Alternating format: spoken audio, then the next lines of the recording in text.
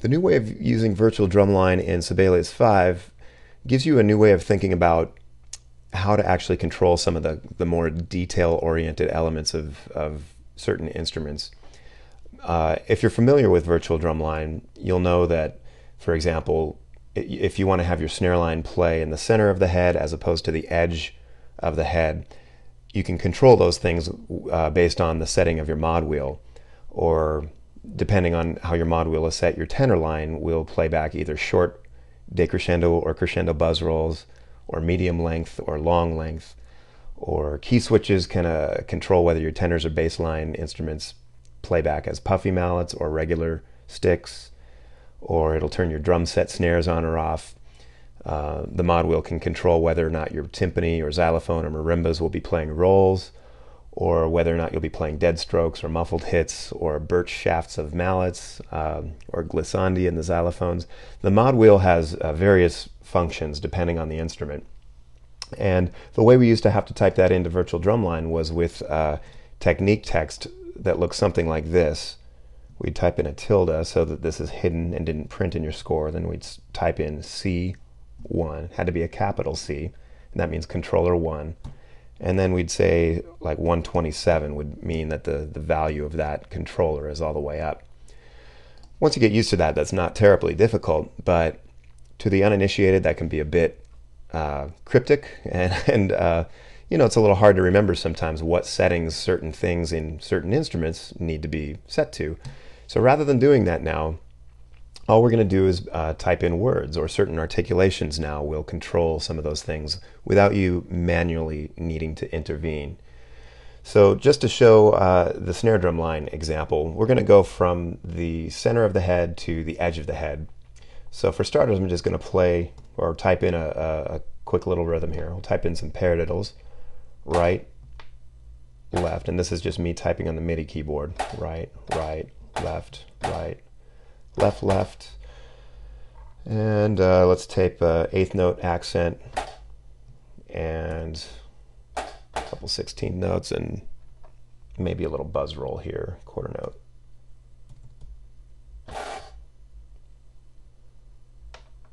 Okay, so with that entered in there, I'm just going to select that whole bar and hit R, which is going to repeat it into the next bar. And right here is where we want the snare drummers to go to the edge of the drum. So I'm going to hit Command T or Control T if you're on Windows. That's going to do technique text. And with my blinking cursor, I can start typing. I'm just going to say edge. With that there now, uh, when we play back, we should hear center here, and then when we get to this bar, it should go to the edge of the drum. And just so we can see the mod wheel moving, I'm going to actually open up the mixer and uh, we'll actually open up the, the Kontakt player so we can view the mod wheel right here while it's playing back. You should see that move as soon as it sees the word edge. Okay, so that was all automatically handled. I didn't have to remember what setting to put the mod wheel to. Um, that's just intelligently handled because it's programmed into the sound set and into how Sibelius knows how to interpret it. If we wanted it to be halfway, we would have just typed in the word halfway, and it would know what to do with that. Another example would be for the tenor line instrument. Let's just type in a, a quick little tenor part here. Um,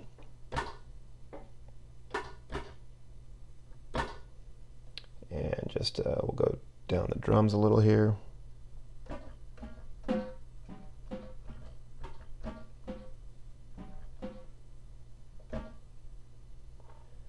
Okay. Um,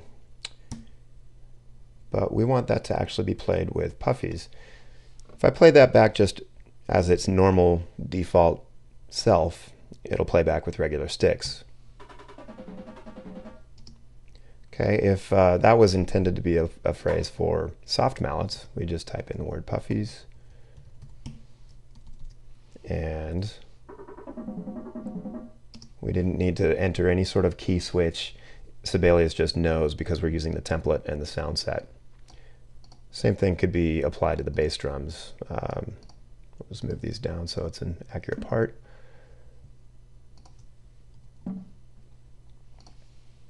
Without the word puffies,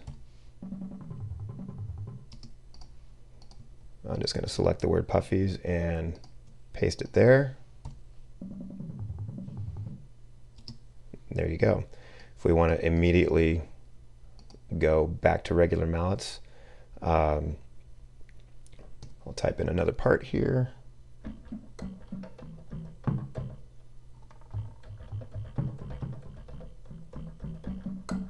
Okay, it's a little little messy as I'm going quickly here. Uh, we just type the word uh, nat for natural. We should actually hear it. If we start here at the puffies, you'll hear it go from puffies to natural mallets. Okay, so that's uh, the type of thing that can be very time saving uh, in, comparison to the way we used to have to do it. I'll go to the end of the score here, add a few more bars. Let's show um, another valuable tool. Uh, I'm just going to type in a few notes in the xylophone staff. And let's just type a half note, and we're going to actually put a uh, three slashes, so this is a roll. Let's type another one, and then a whole note, which will also have the slashes. Um, before what we had to do when we encountered this is we'd again have to put another C1 comma 127 which would move the mod wheel up that would play back the rolls we'd also have to open up the property palette go to playback deselect the tremolo so that Sibelius didn't try to um, mock up that tremolo. But now, because it knows we're using virtual drumline and we're using the sound set, it knows when it sees those slashes that that's going to play the sampled roll and it knows not to create a synthetic roll.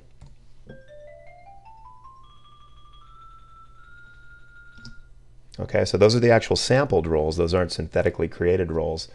And uh, again, it just knows because we're playing a xylophone instrument from virtual drumline that that's how it's going to perform it. The same would apply to marimbas, timpani, um, buzz rolls in the concert snare, buzz rolls in the snare line. You don't have to turn off that tremolo marking anymore. It, it automatically knows how to handle those sorts of things. So that's just a few examples of how the playback dictionary has been configured within the template and within the sound set so that you don't have to do as much work.